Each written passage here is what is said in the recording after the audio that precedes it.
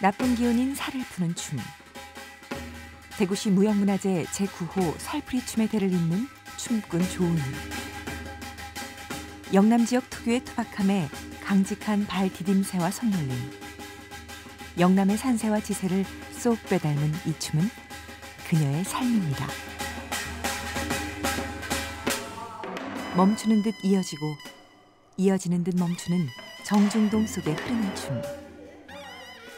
까마득한 어린 시절부터 그녀의 곁엔 늘 춤이 있었는데요.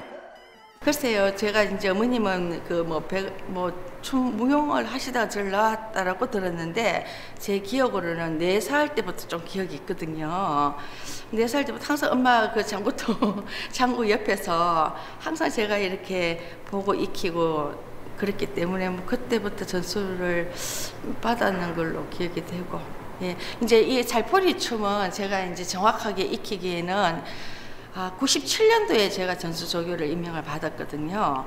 그래서 제 기억으로는 한 이, 그 당시에 좀 철이 없었던 것 같고, 이제 10년, 2000년도에, 2000년도에 올라와서 제가 조금 이게 제대로 된 어머님과 공부를 좀 했는 걸로 기억이 납니다. 이 시대 마지막 얘기라 불리는 권명화 명인. 아흔을 바라보는 어머니의 한평생 춤이 딸에게로 이어지고 있습니다.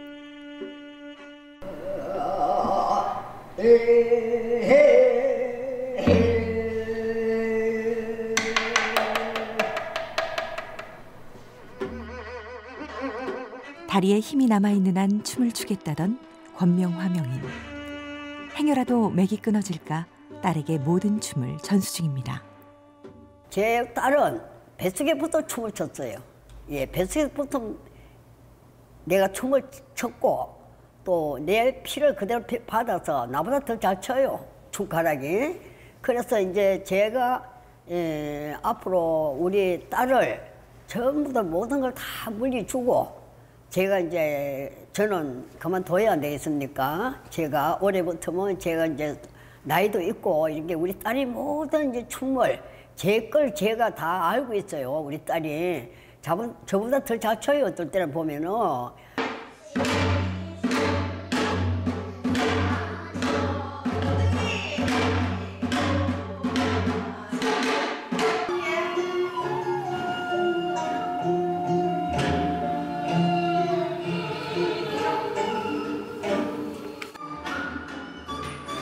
춤에 평생을 바친 열정.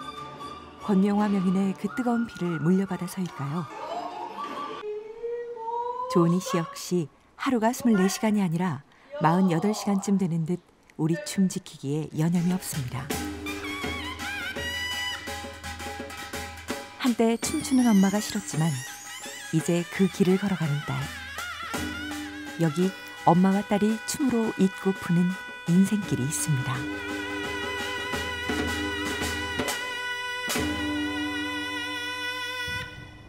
나뭇가지 뒤로 보이는 건물 예련관이라 쓰여 있다. 대구 문화예술회관 예련관. 이곳에서 검은고를 든 조은희 씨를 만났습니다. 이곳엔 어쩐 일이신지요? 여기가 우리 시립국악단 개인 연습실입니다. 사실 조은희 씨는 대구 시립국악단의 단원으로 중요 무형문화재 제16호 한갑 등류 검은고 산조의 이수자이기도 합니다. 지난 85년도에 대구 시립국악단에 입단을 했으니 강산이 세 번 반이나 바뀔 동안 이곳에서 연주를 한 셈이죠.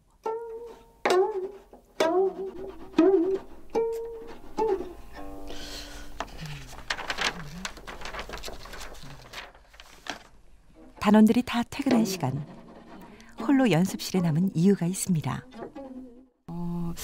어, 어, 다음 달에 2월 달에 있을 그 산조 병주를 위한 이제 제가 좀 가락을 좀 짜야 될 것 같아서 지금 가락을 짜고 있습니다. 이제 공연이 있을 때마다 이제 좀 그 전에 이렇게 뭐 필요한 부분들 조금 체크하고 또 부족한 거는 또 연습을 하고 그래 하고 있습니다. 네.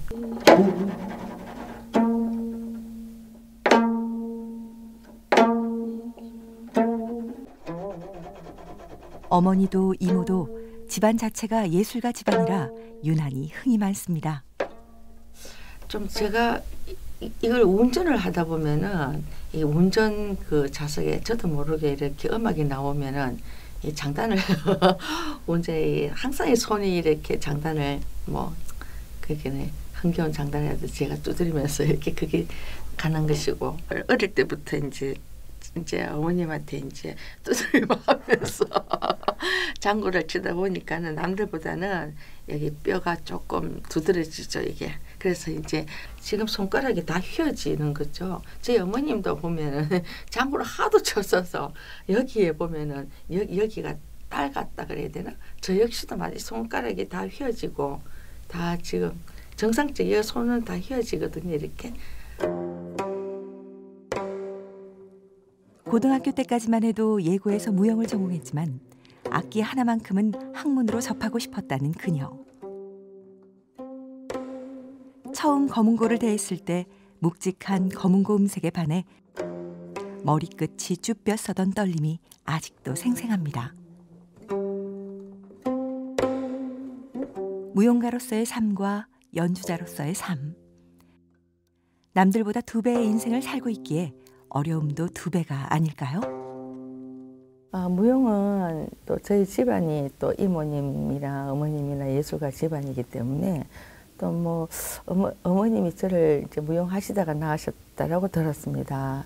뭐 어릴 때부터 자연스럽게 익혔는 것이고 또 현재 또 어머님 전수 조교로 또 되어 있기 때문에 그 역할과 또 여기는 하나의 또 직장인으로서의 또 제 역할과 이런 것들을 또 제가 다 감수를 해야 되기 때문에 그냥 달려왔습니다. 그냥 예, 열심히 했습니다.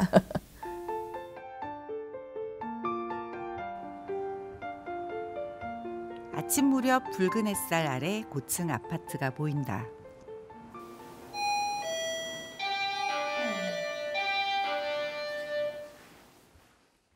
한가로운 주말 아침 초인종 소리가 정막을 깨웁니다.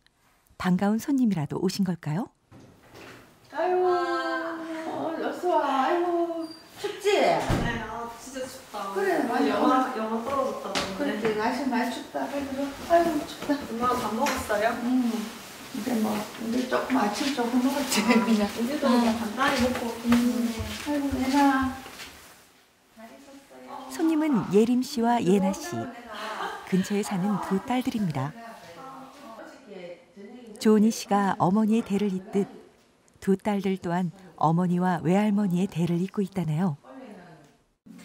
이제 우리, 그, 우리 큰애는 너무 뭐 어릴 때부터 엄마 속도 안 썩이고 너무 참하게 잘 커줘서 지금은 이제 그 보건교사를 하면서도 또 지금 이제 또 내 뒤를 또 이어서 무용의 뭐 전수상학생도 거쳤고 이수자도 거쳤고 할머니가 가장 이 두 소녀들 예뻐합니다. 그리고 이제 우리 둘째 딸은 지금 뭐 작년에 경북대학교 국악과 검은고 전공을 해서 또 졸업하자마자 경주 또 실예술단에 또 검은고 주자로 어떻게 들어갔어요. 입단을 해서 이, 이 집에서 밥을 먹나 어제 몇 시에 들어왔어요? 어저께 도착하니까 어, 진짜 11시더라고 너무 힘들더라. 아유 엄마 우리 한 11시? 11시쯤? 음, 그지. 올해는 새로 또 이렇게 그 타임들이 쉬는 시간 없이 네 강제를 하니까 조금 무리가 오더라고. 그치. 너희도 힘들었겠다. 엄마 힘들었죠? 네개 동시에 했는데. 어, 그래도 너희들이가 있어서 그래도 엄마가 참 덜 힘들었던 것 같아. 어린 시절 모든 일을 춤추는 엄마의 스케줄에 맞춰야 했기에 수학여행조차 가지 못하고 연습을 했다는 조은희 씨. 그래서 두 딸들에게만큼은 보통의 엄마가 되어주기 위해서 우던이도 노력을 했답니다.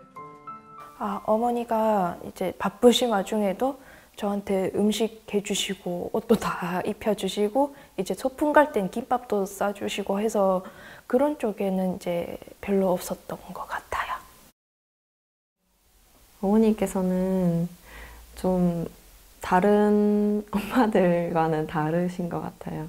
어릴 때는 솔직히 좀 사춘기 때는 불만도 좀 있었고 섭섭한 것도 있었고 한데 제가 이제 사인이 되고 일을 하고 또 같이 무용도 어머니하고 하다 보니까 어머니께서 말 못하신 그런 고충이 안 있으셨겠나 싶고 지금은 어머니를 봤을 때 1인 다역을 하시거든요.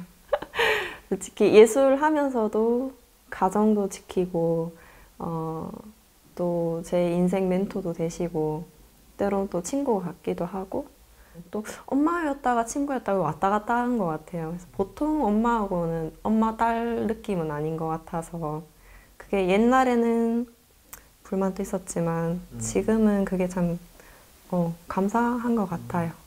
저는 엄마가 이제 두 가지 전부를 한다는 거가 되게 존경스럽고 검은고 한 개만으로도 힘든 일인데 이제 두 가지 전부를 하니까 저는 진짜 멋있다고 생각하고 존경하고 있거든요.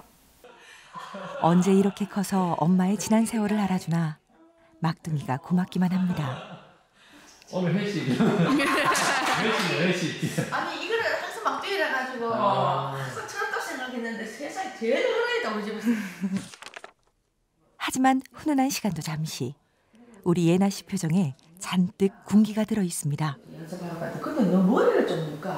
엄마가 머리는 좀 예민한 거 알잖아.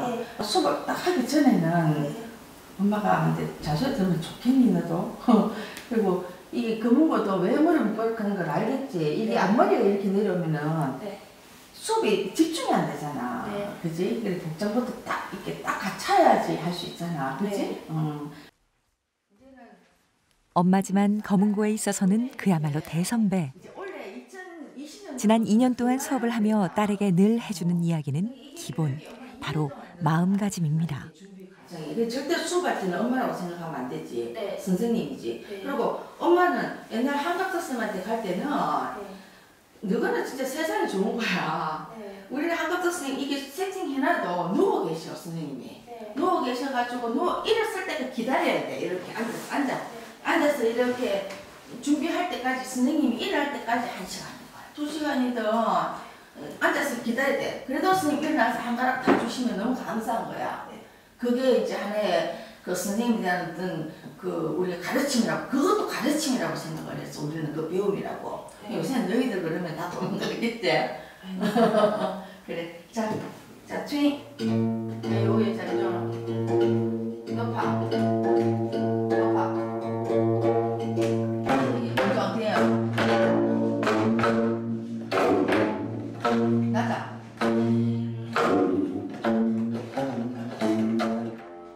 줄이라고는 달랑 여섯 개.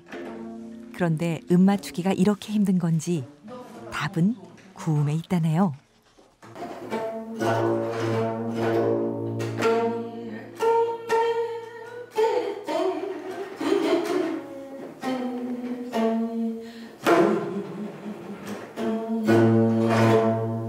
내가 공부할 때는 우리 선생님은 항상 구음을 불러주셨어. 이렇게 지금 이게 악보화된 증명된 이게 이걸 보고 구체적인 거를 우리가 악보가 왜 생겼겠노, 그지? 할머니, 너 할머니도 항상 구음으로 항상 하잖아. 예. 우리 옛날 쌤들 다 구음을 써. 엄마 시대는 그렇게 구음으로서 공부를 했었어. 구음을 할 때는 봐라.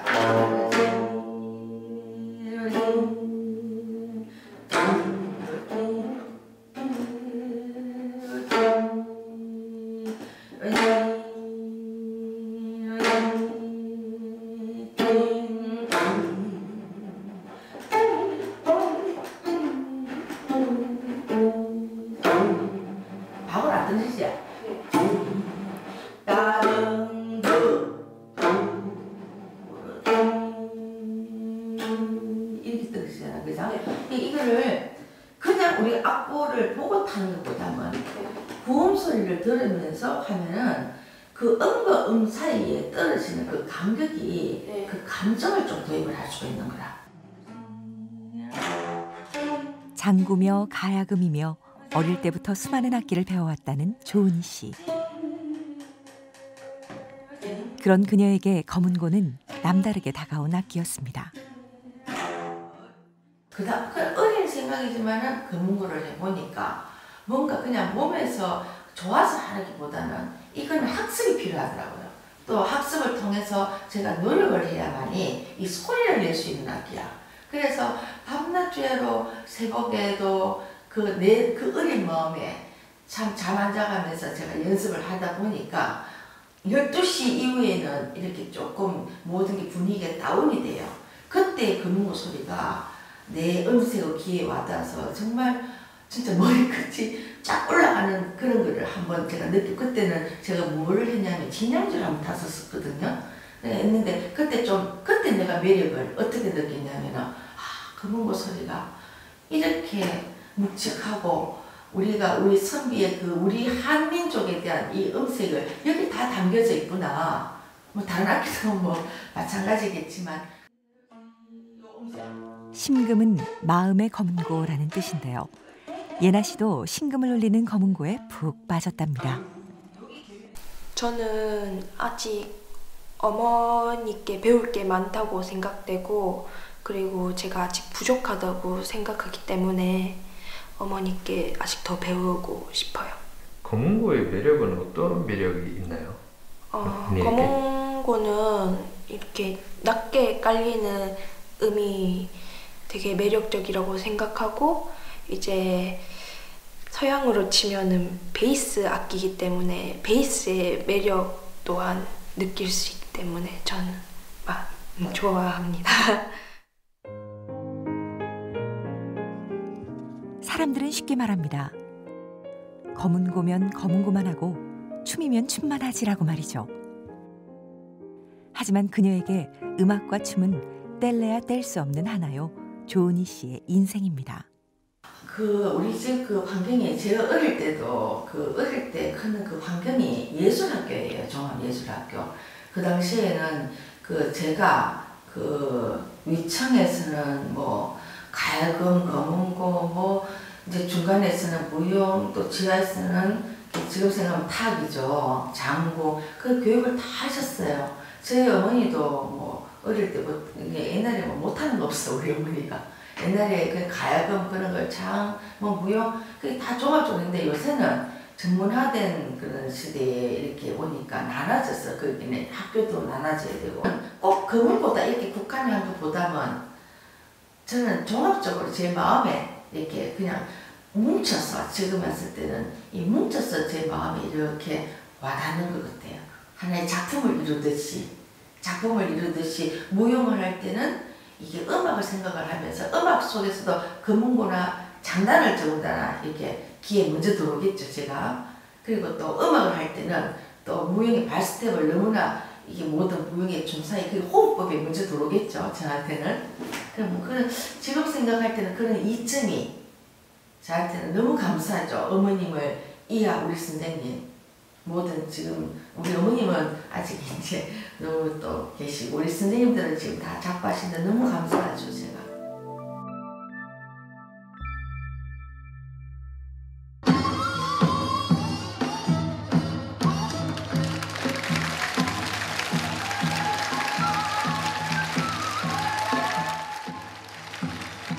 작년 10월 조은희 씨에게는 평생 잊지 못할 공연이 열렸습니다.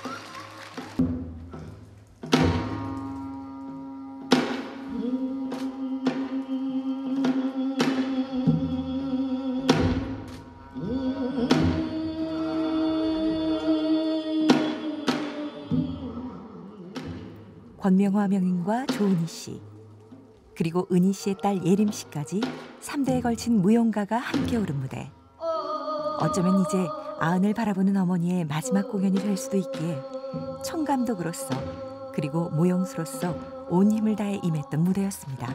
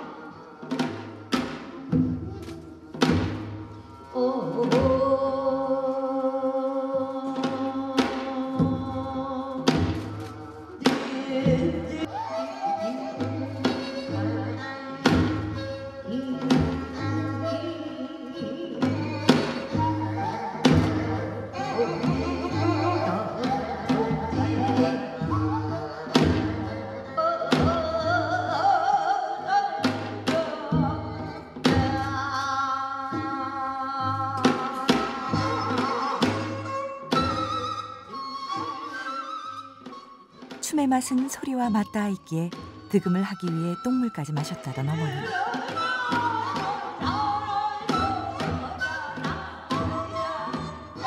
그런 어머니 권명화 명인이 평생을 지켜온 춤이기에 명주수건 한 자락 한 자락에 간절한 마음이 너울댑니다.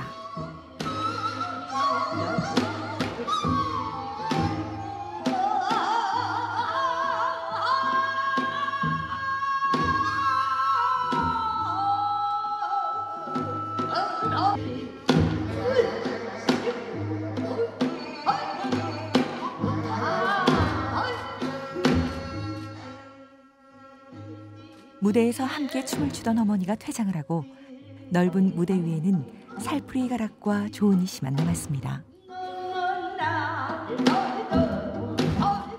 아마 네 살쯤 조은희 씨에게 기억이란 것이 남아있는 그 어린 시절부터 어머니를 보고 어머니를 따라하고 또 어머니께 배워온 춤을 무대 가득 내려놓습니다. 다시는 함께 서지 못할 수도 있는 무대. 그래서 조은희 씨의 춤사위가 더 슬프게 빛납니다.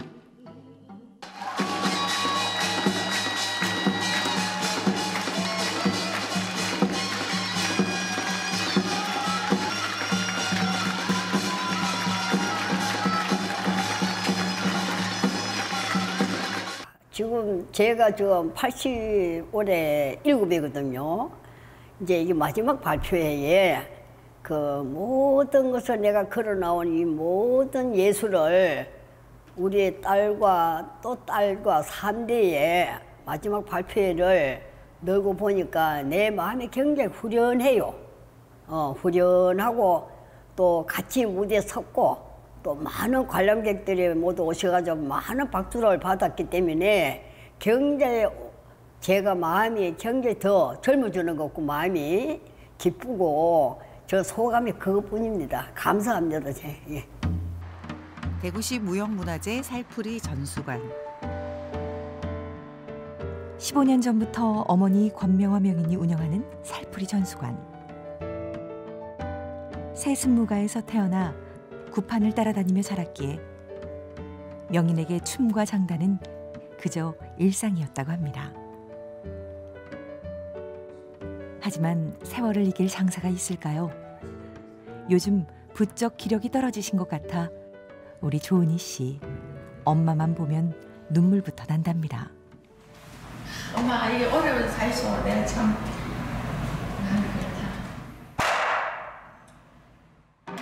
대답 대신 돌아온 북소리. 그런 어머니의 마음을 잘 알기에 얼른 딸에게서 제자로 돌아갑니다.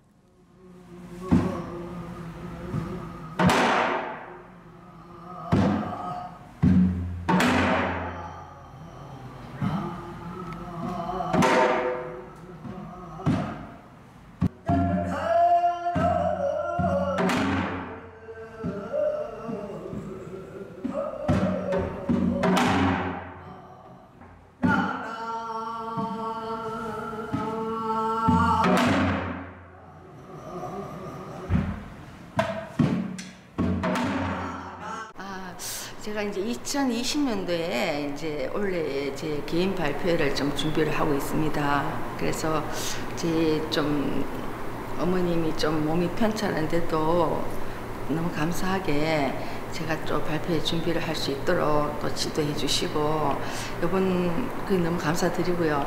그 이번에 발표회 때는 이제 그 어머님 춤을 모두 다 올릴 제가 이제 다 제가 무용을 다 할 생각을 합니다. 다 올려서.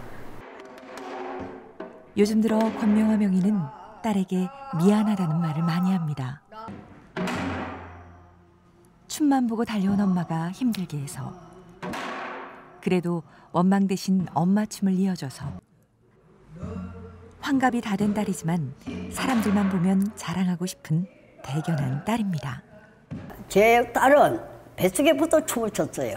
예, 뱃속에부터 내가 춤을 췄고 또 내 피를 그대로 피- 받아서 나보다 더잘 춰요. 춤가락이. 제가 이제 나이도 있고 이렇게 우리 딸이 모든 이제 춤을 제 걸 제가 다 알고 있어요. 우리 딸이.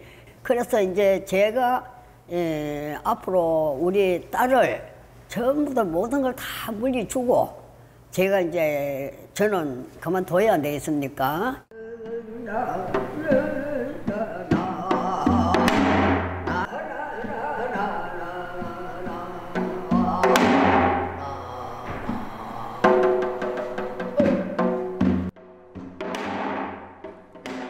불렸던 춤꾼.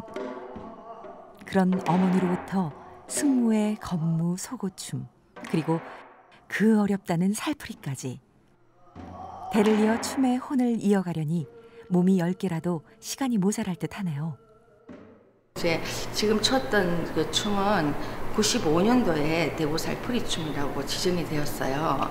97년도에 제가 전수 조교를 어, 임명을 받았는데요. 그 거기에 대한 좀 더 이렇게 제가 좀 더 심취 있게 뭐 하면 할수록 항상 부족한 거를 제 스스로가 느끼니까 좀 더 심취 있게 또 공부를 해서 이번에는 또 좀 더 나은 또 춤을 좀또 음, 그래 좀 무대에 좀 올려볼까 싶습니다.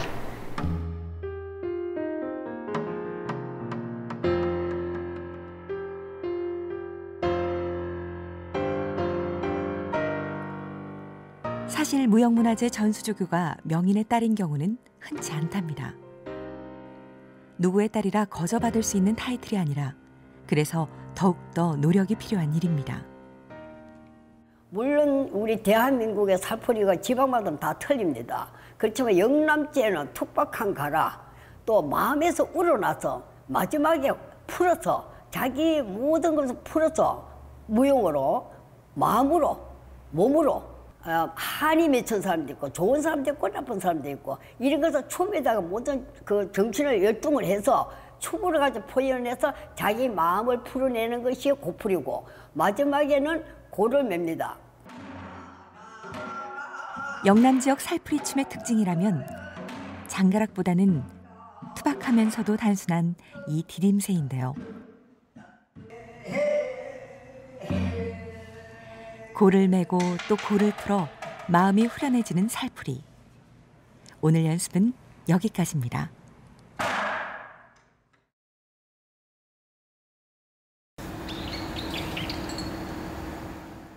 새소리와 함께 또다시 찾아든 주말 아침.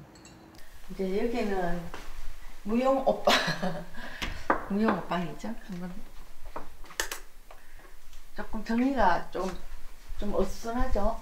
어, 지금 현재 의상이 굉장히 조금 뭐 어릴 때부터 했으니까 많은데 지금 그 의상은 그 작년 10월 26일까지 또 저희들 공연을 마쳤고 그는 신암동에 저희 어머님 전소관에 또 제 의상이 많습니다.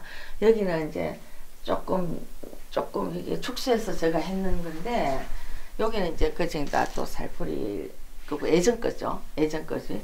여기는 또 기존의 어떤 의상이고 제가 이제 항상 이 버선은 어머님한테 교육을 받는 받았는 그게 돼가지고 이게 우리 어머님은 이 버선도 지금 여기 비누리에다가 어머님은 항상 넣거든요. 비누리에다가 넣어가지고 그때 그때 쓸 때만 하는데 저는 그냥 제가 간단한 공연을 작은 공연을 할 때 직접 분장을 하는 화장대도 있나요? 달비가 조금 종류가 조금씩 다르죠. 이 달비가 막 여러 가지 있는데 공연 때마다 큰 거 쓸 때도 있고 작은 거 쓸 때도 있고 뭐 이래서. 옷장은 예술가를 이해할 수 있는 수많은 단서들이 숨겨진 곳이라고들 하죠.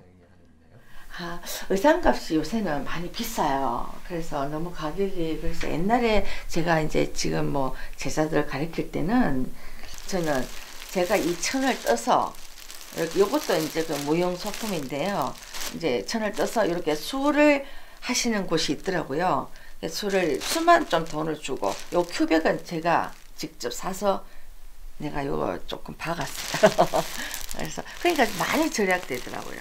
이거는 뭐 에피소드라는 것은 좀 그렇고 지금 현재에 또 뭐 이게 소품 지금 현재 전수관에서 지금 수업하고 있는 거는 또 제가 또 천을 떠서 또 춤의 검은고에 의상 제작까지 도대체 쉼표가 없는 일상 오늘도 딱 그런 날입니다.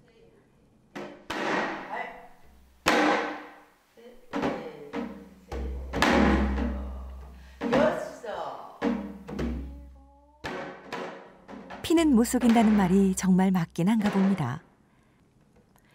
큰딸 예림 씨의 직업은 보건교사.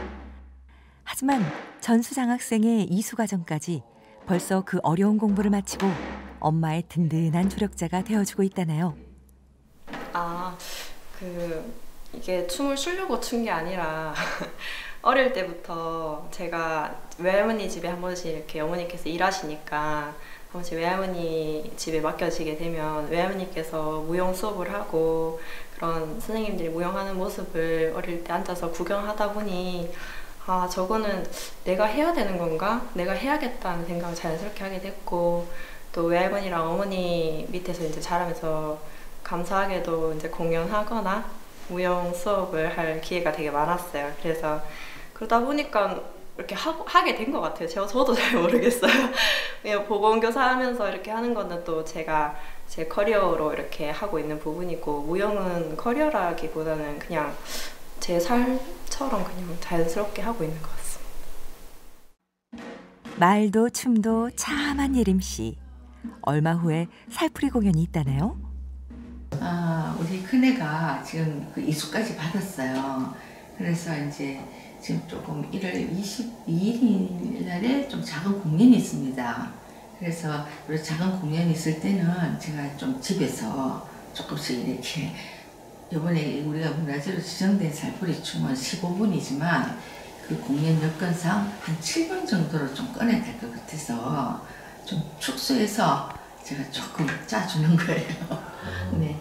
또 공연 이제는 뭐 다 커서 예전에는 이 수업을 직접 이게 뭐 이게 했지만은 지금 공연 있을 때만 제가 좀 봐주는 봐줍니다.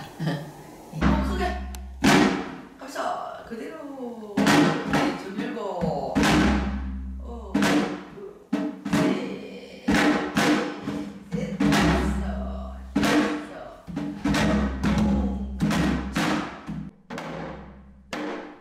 단한 번을 추더라도 진정성 있는 무대가 가장 중요하다는 조은희 씨. 엄마를 닮아 그런가요? 예림 씨 역시 무대에 대한 욕심이 큽니다. 항상 공연을 해보면 항상 아쉬움이 남습니다. 그래서 연습을 저 딴에는 정말 100이라고 생각하고 하지만 공연 무대에 막상 딱 서면은 늘 부족했고 아쉽고 그런 부분이 있어서 오늘도 역시 하면서도 아 내가 지금은 굉장히 만족스럽다 느끼지만 분명히 또 무대에서는 아쉬운 부분도 내가 더 열심히 하겠는 부분이 또 생기겠구나. 네, 그러면서 계속 무용을 했어서 네, 어머니에게서 딸에게로, 딸에서 또 그 딸들에게로 삼대를 잇는 춤. 가족들은 어떤 마음일까요? 세 사람을 볼 때 그 자기 시간, 자유 시간이 적다는 차원에서 굉장히 좀 안타까운 면이 있어요, 사실은. 왜냐면은 뭐 보통 사람들처럼 저희 집 사람도 뭐 자랄 때 얘기 들어보면은 수학여행 한 번도 못 갔답니다. 어, 그리고 우리 애들도 보면은 뭐 다른 친구들하고 노는 시간을 아껴서 여기 또 연습을 해야 되고 구학을 이어야 되는데 우리 집 사람도 그러고 두 딸도 뭐 남들보다 더 많은 노력을 해야 되고 잠자는 시간을 절약해야 되겠지만 계속해서 노력해서 우리나라의 그 전통을 이어나가는데 이바지한다면은 뭐 큰 차원에서 좋은 일이라고 생각합니다. 저는. 예. 안타까운 부분은 뭐냐면 어릴 때부터 저는 어, 어머니께서 워낙 바쁘시고 많은 역할을 수행하시다 보니까 아무래도 체력적으로 많이 좀 힘드신 부분이 많으세요. 지금도 그러시고 해서 보면은 좀 아파하시거나 피곤해하시거나 그런 모습을 볼 때마다 아, 엄마가 좀 건강했으면 좋겠고 엄마가 뭐 좀 항상 이렇게 에너지가 많으면 좋겠다 하는데 늘 그렇게 사셨던 분이시니까 또 지금은 제가 엄마 옆에서 또 어떻게 하면은 에너지를 또 드릴 수 있고 같이 뭔가 오른팔이 되어줄 수 있을까 네, 그런 생각합니다.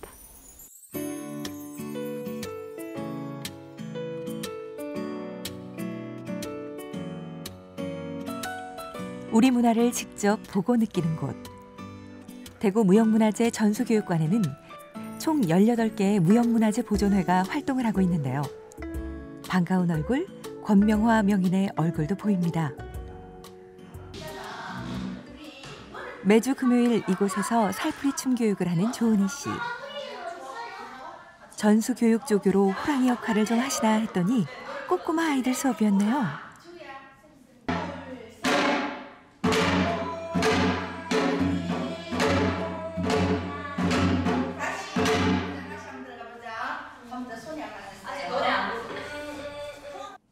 여섯 살부터 참가할 수 있는 어린이반 수업인지라 수업 중간중간 돌발 상황이 많습니다. 우리 친구는 뭐 문제 있어요?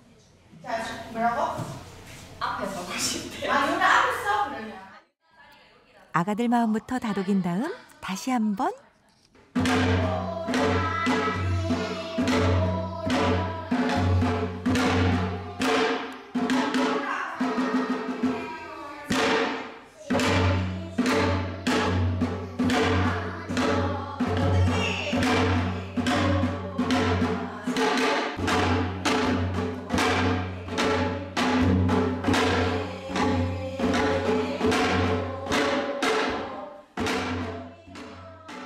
음악의 리듬을 몸으로 익히기 위해서 국악 동요와 함께하는 수업. 아이들 몸짓이 정말 귀엽네요. 어, 어린이들이라서 너무 예쁘죠. 아, 마음 같으면 많은 어린이들을 좀 제가 수업을 하고 싶은데 시간적인 좀 또 제한도 있고 이래서 지금 이제 새 어린이만 하고 있습니다. 뭐 오늘도 너무너무 예쁘게 잘하고 있네요. 너무 예뻐요. 예. 여기 뭐 하러 왔어요? 저요?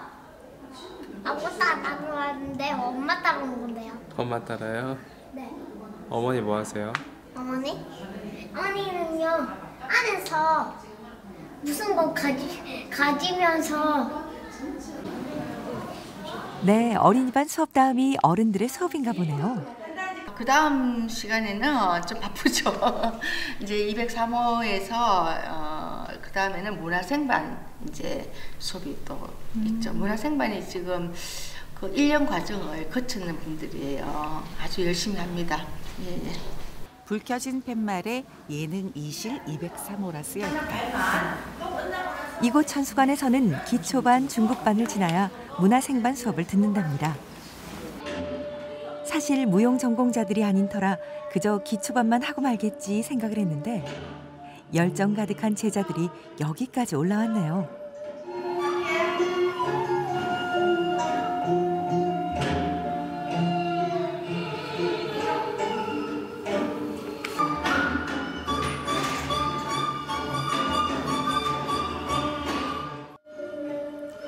직업은 다르지만 이 수업을 듣는 이유엔 조은희란 이름 석자가 공통 분모입니다.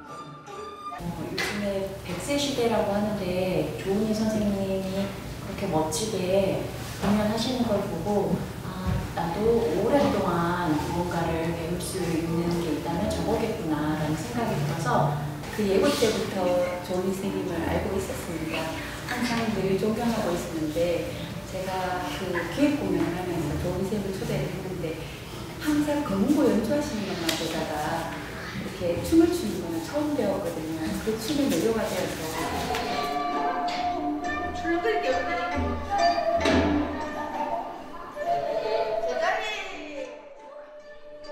그런데 반가운 손님이 등장했습니다. 어머니이자 스승이신 권명화 명인인데요. 새해맞이 덕담을 들려주시기 위해 걸음을 하셨답니다. 쌤 오셨습니까?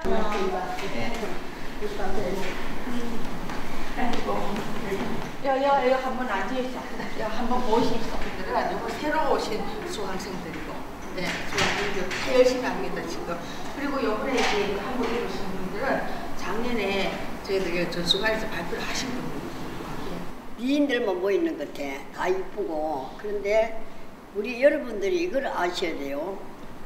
이 대한민국의 우리 정통 무용이 춤과 모든 이 무용이 각 지방마다 다 틀려. 서울에 춤이 있다고 전라도, 부산 다 따요. 근데 대구는 영남이야. 경상도 영남께는 춤이 여러분들 이렇게 TV도 봤지만은 서울은 위에 요동만 올려 밑에가 없어. 이제 보니까 다 좋네. 발부터 시작이 되는 겁니다. 우리 영남 춤이. 그런데 서울에는 위에가 중요시지 발은 별로다 이 말이야. 내가 얘기는. 이게 똑같이 안 해요. 우리 경상도는 뒤꿈치부터 해서 앞으로 오금 죽이는 거. 이제 딱 그대로 했죠. 그러니까 지금 우리 딸이 지금 조 선생이 지금 요 기분 잘 갖긴 않네요. 내가 보니까. 그러니까 무릎 뒤쪽에 오금. 그 발의 오금질이 영남 살풀이의 핵심이네요. 얼쑤 좋다. 춤을 췄는데 아이고 이쁘게 잘한다 하는 거다. 얼쑤 좋다. 이게 이게 안 나오면은 우리 정통 문화에 맛이 없어. 판소리나 기악이나 모든 것이 무려 못하는 것이 이러면 아무것도 없어요. 그 여러분들 춤도 아이고 이쁘다. 이게 나오면 돼. 이게 어디서 어이가 나오냐 면 자기 어깨 호흡. 뭐, 다 아무 생각 없이 이렇게 했지만 그거는 얼쑤 좋다가 안 나와. 예, 앞으로 좀 더 열심히 하세요. 또 며칠 있으면은 올해 우리 이제 우리나라의 큰 명절이자 구정이지 않습니까? 다 같이 선생님 앞에서 우리 세배를 드리는 오늘 무대가 생애 마지막 무대인 것처럼 흥과 멋을 풀어내던 권명아 선생님. 새해 복 많이 받으시고 오래오래 건강하세요.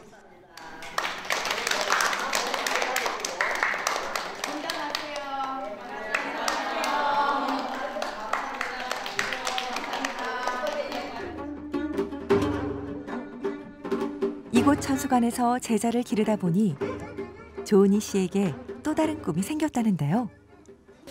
어머님께 전수 받을 때는 아무래도 그 나 자신을 위한 어떤 춤사위 그리고 모든 춤 매개 매개 있어서 완성되기를 원했죠.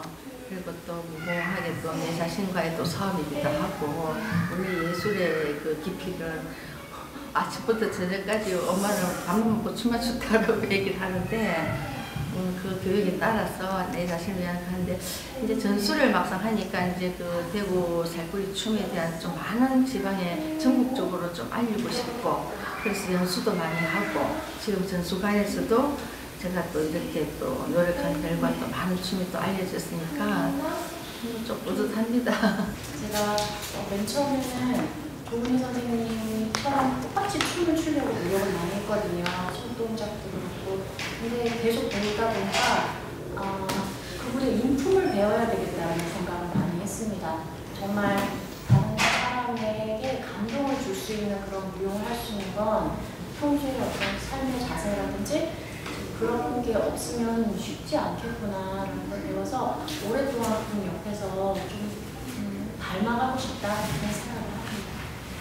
검은고와 악기와 무용을 함께 하시기 때문에 음악적인 것뿐만 아니라 무용을 저에게 항상 이렇게 멘토를 해주시니 제가 앞으로 음악 생활을 하는 데에도 큰 도움이 되고 음악을 제가 요만큼 해보니까 음악은 무용이 떼질래야 떼질 수가 없더라고요. 조금 더 일찍 만나서 선생님과 공부를 했더라면 더 좋았을 텐데 하는 아쉬움이 생기더라고요.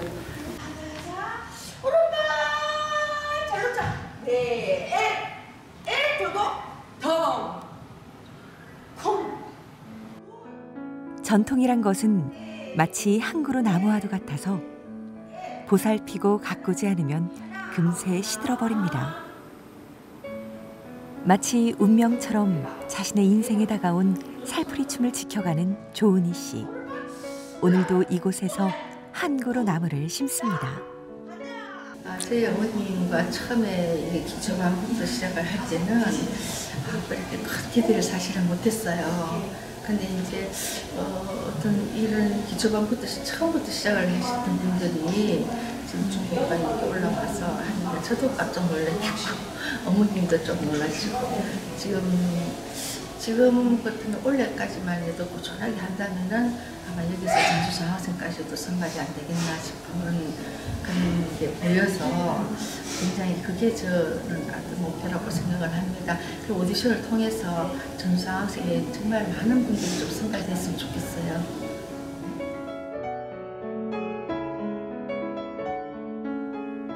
뜨거운 마음으로 한평생 한 길만 걸어온 어머니. 그런 어머니를 따라 살풀이 춤을 이어가는 조은희 씨. 춤꾼은 다리에 힘이 있는 마지막 순간까지 무대에서 춤을 춰야 한다는 어머니를 따라 춤으로 잊고 푸는 인생길. 오늘도 조은희 씨는 명주 수건에 어머니의 마음을 담아 춤으로 인생을 이어갑니다.